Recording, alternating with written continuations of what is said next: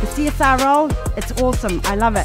The best part of the role is meeting the customers. It's the people you work with and it's the community that actually walks through those doors and want your help.